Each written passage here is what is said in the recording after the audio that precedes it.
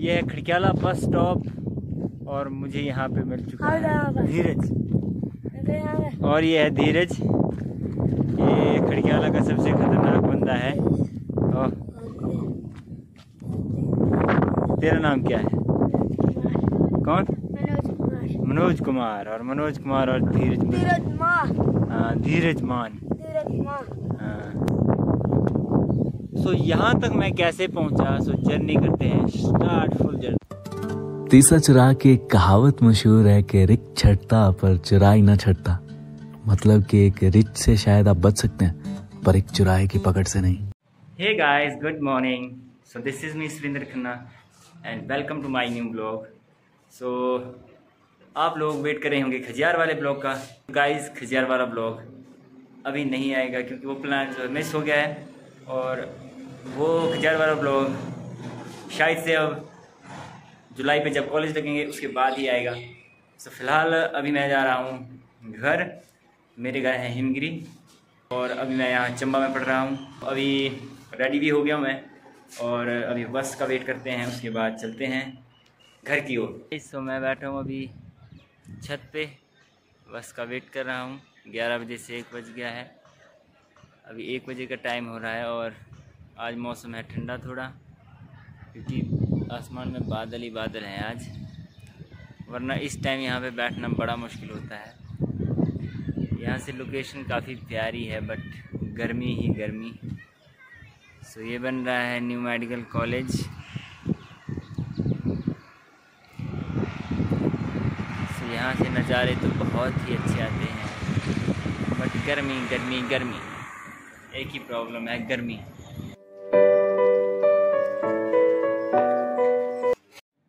So guys अभी चलते हैं लॉक लगाते हैं। सो है गाइस अभी बैठ चुका हूँ बस में, और अभी यहाँ से है चार पाँच घंटे का सफ़र। सो अभी दिखाते हैं आपको बढ़िया बढ़िया व्यू बैकग्राउंड में बज रहा है म्यूज़िक सो मैं कर रहा हूँ वॉइस ओवर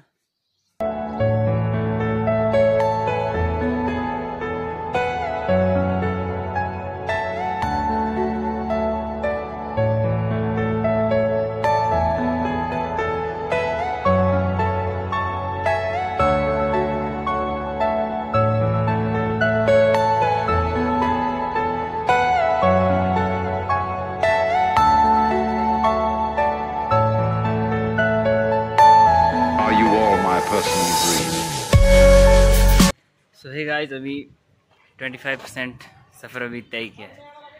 सो so, अभी हम सुंडला सो ये है सुंडला की मार्केट छोटी सी। सो so, अभी यहाँ से लगेंगे करीबन तीन से चार घंटे। सो so, उसके बाद अभी सलोनी आएगा ड्यूर आएगा उसके बाद आएगी हिमगिरी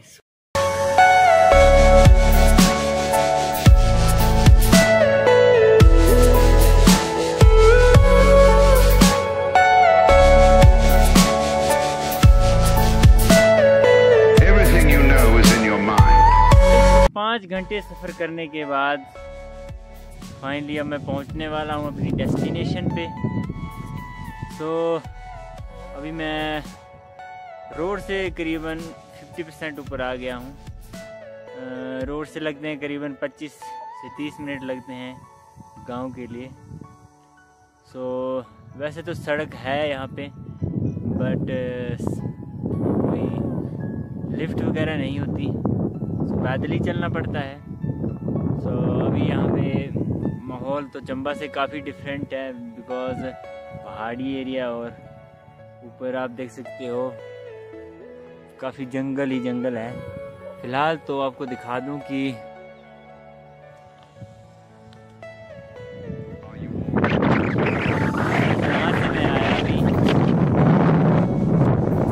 जा रही है ये वाली सड़क है बड़ी भी। बट लिफ्ट नहीं होती है तो अभी पैदल ही चलना पड़ता है। सो ये ऊपर पूरा जंगल है, ऊपर से लेकर के पूरी साइड। जंगल ही जंगल। सो यहाँ का सो यहाँ का एनवायरनमेंट काफ़ी अच्छा है। ठंडक भरा है। तो अभी कुल मिला करके तीस एक छुट्टियाँ हैं। सो देखते हैं तीस एक छुट्टियों में आपको बढ़िया बढ़िया वीडियोस दिखाता रहूँगा। और फ़िलहाल आगे। सो गाइस पाँच घंटे सफ़र करने के बाद अभी यहाँ करके काफ़ी सुकून मिल रहा है।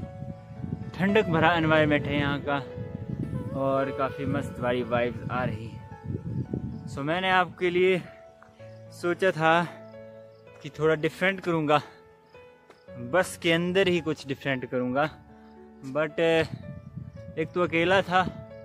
और अकेला बंदा क्या ही गिरे क्योंकि अगर दूसरा कोई बंदा होता साथ में तो कुछ आपके लिए मस्त वाली चीज़ दिखाने वाला था।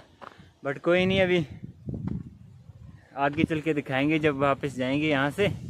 सो गाइस ये है वाटर का नेचुरल रिसोर्स तो अभी तो इसकी हालत कुछ ऐसी है, इसमें घास डाला हुआ है ताकि ये जाली का काम करे।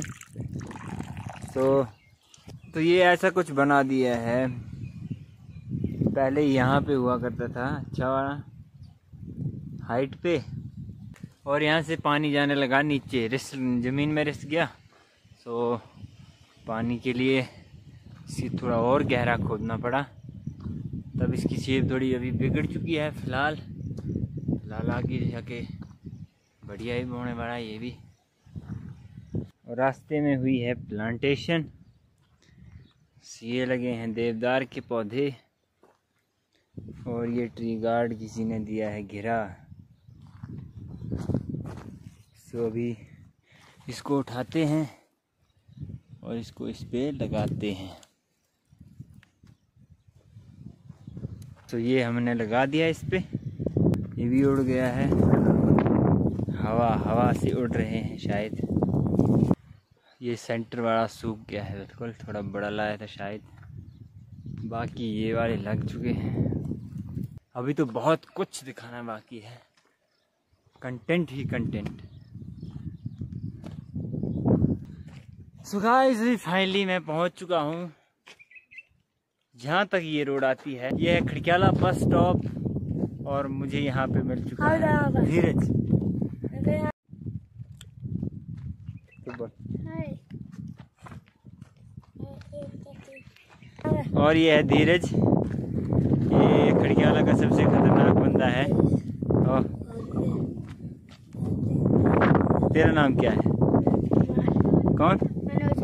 मनोज कुमार। और मनोज कुमार और धीरज हाँ धीरज मान। हाँ तो ये है धीरज मान की बाइक है। तो धीरज धीरज मान की बाइक। धीरज मान चला के दिखाएँगे। चला। चला। चल भाई तू चल। तो गाइस फाइनली हम पहुँच चुके हैं धीरज के बस स्टॉप पे, जहाँ पे सड़क का एंड होता है। और यहाँ से हम जाएँगे अब गुंडा। तो अभी धीरज के पास फ़ोन दिया है और धीरज मेरा ब्लॉग शूट कर रहा है। तो धीरज, ठीक बन रही है वीडियो ठीक है? तो अभी चलते हैं फ़िलहाल। आगे। बाय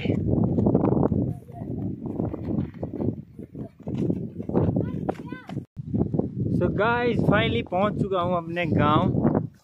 सो so, ये नीचे दूसरा गाँव है। सो अभी सीधे आपको दिखाता हूँ अपना गाँव। काफ़ी बड़ा गाँव है। लगभग 40 से 50 परिवार यहाँ पे रहते हैं। सो ये है अपना गाँव।